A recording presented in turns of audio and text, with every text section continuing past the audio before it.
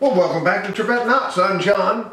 This video is going to be two tutorials. One is going to be on a 10 strand flat braid that I call whatchamacallit because it doesn't have a name because I don't know what it is. I just made it up. Not claiming to have created a new knot, just made it up and can't find it in any other books. I'm sure somebody's done it in the past, what have you, whatever. Uh, and then also, I'm going to be doing a tutorial on this the miter corner covers that I'm using on this frame, which is really a T-shaped sailor's cross without the top part.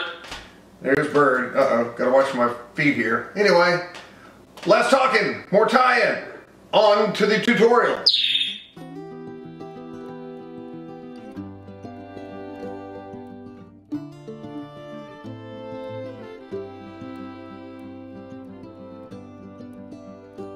This sinnet right here, it's a 10 strand flat braid sinnet that I basically made up. I'm not saying invented a new knot, folks, but it's a sinnet that I made up. I came up with it uh, on the first frame that I made.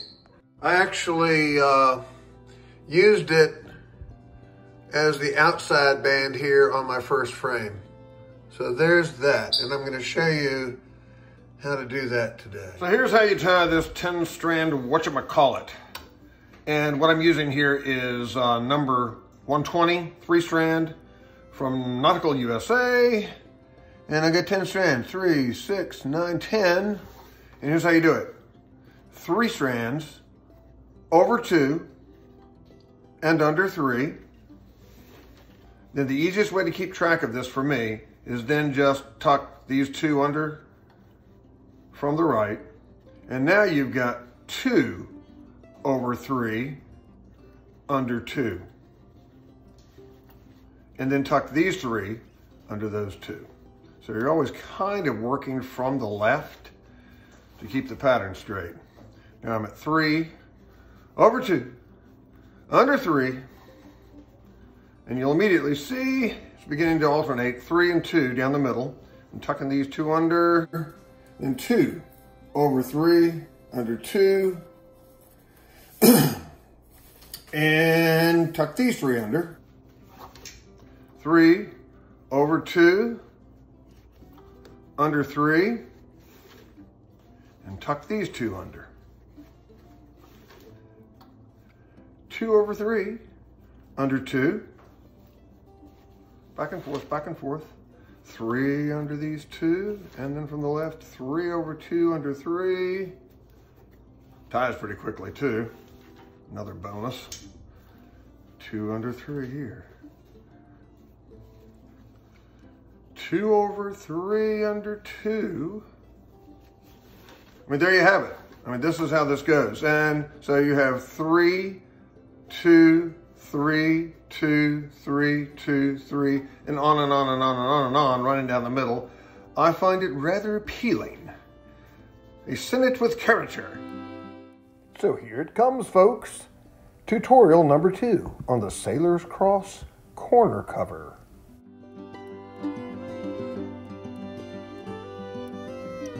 So what you're looking at here is the result of having tied this mat, and it is a mat, the first time, getting it the right size, and then I made a template with an over-under pattern as you see before you, so that I could duplicate, well, actually quadruple it, and uh, do it pretty easily with an over-under pattern. And now I'm going to speed this up and let you listen to the music and watch me tie this.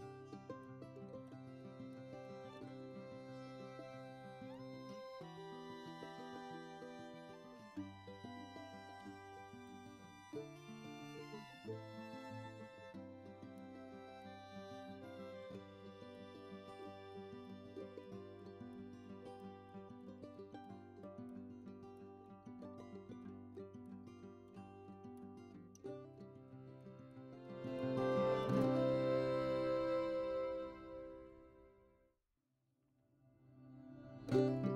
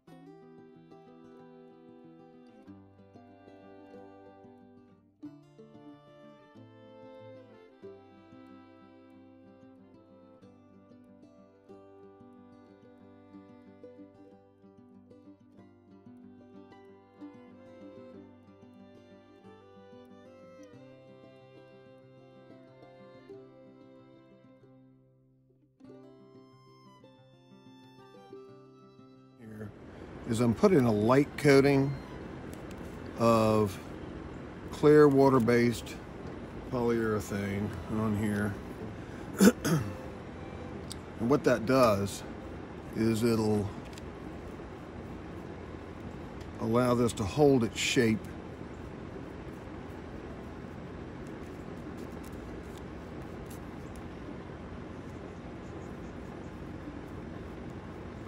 So, then when I decide to, when I get to the end here and I'm actually attaching it to the frame as a feature, well, the last thing, it's probably pretty much the last thing to go on is this, these corners. Then they'll uh, be ready to go. Well, thanks for watching. That is all for today. And we're in the home stretch on this frame. Not too terribly much more to go. But we'll see you next time.